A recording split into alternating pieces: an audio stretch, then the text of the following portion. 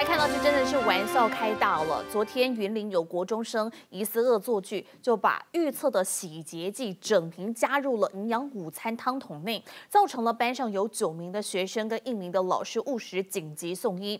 那么校方就说，其实部分的学生也是出现了过敏还有胀气的症状，不过所幸就医之后呢，都已经没有了大碍，都平安的全数出院了。当下其实是有报警的，通报了教育处，全案交由警方领厘清当中。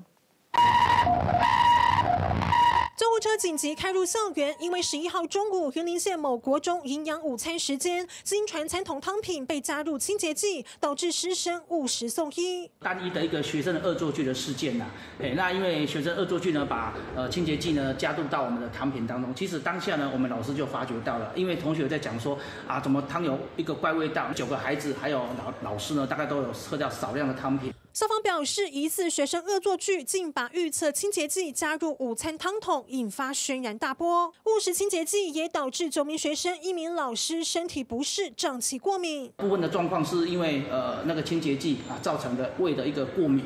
那以及肠子的过敏，所以会变成是有胀气。今天早上特别去班上观察，那我们所有同学都回来了。这位呃调皮捣蛋的同学呢，因为呃还在检查在调查期间，孩子我们先让他在家里做线上的学习。我们一定会非常重视，而且会严格哈、审慎的哈来加强防范。所幸治疗后，学生都已出院返家，将持续观察身体状况。校方也在第一时间报警并通报教育处，目前全案交由警方调查厘清中。解放中城与您报道。